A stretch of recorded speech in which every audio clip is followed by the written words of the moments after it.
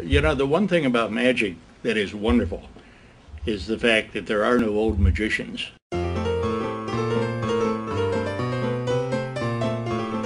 There's absolutely no reason for a magician to ever become an adult. Uh, magicians refuse to grow old because they're all children at heart. It's a very magical place.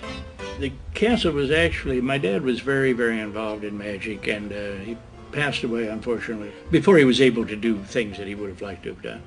And one of those things is he always talked about having a club for magicians.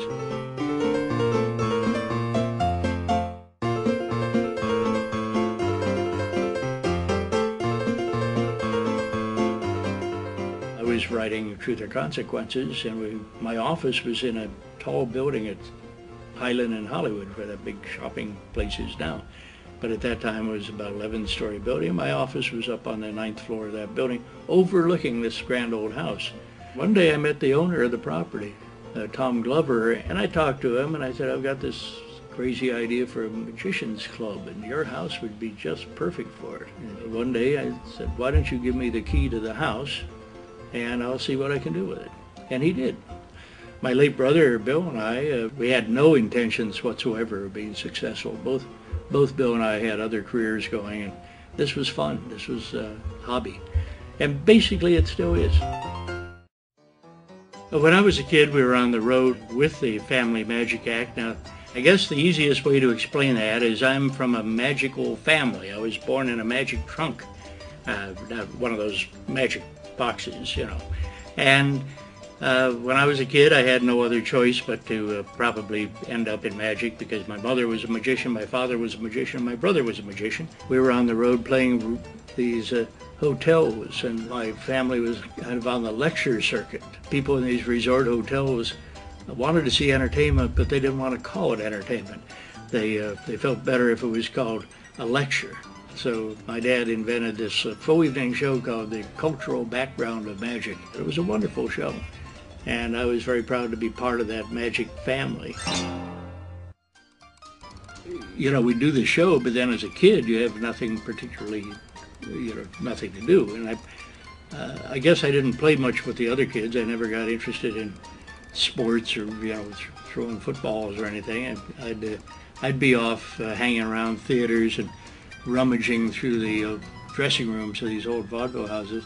When I was growing up as a kid, uh, vaudeville was pretty dead. I mean, silent movies went out and sound movies came in. The, the big stage shows kind of went away because the pictures could talk. Why, why bother having real people?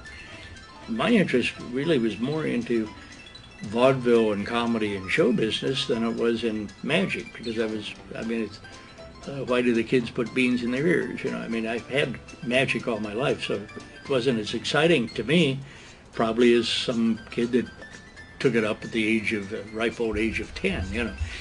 Uh, after we opened the Magic Castle, I found another old theater down in Santa Monica. I converted that to the Mayfair Music Hall. And that was a beautiful little Victorian theater where we did vaudeville. And I was, I've always said that I was born the year vaudeville died. And uh, basically that was 1931. So I always felt that the God had looked down on me and said, Milt Larsen, you are the one that has to revive vaudeville and bring back all these crazy old acts. So I've, I've done a pretty good job of it, I think. There's no need to retire if you don't get old.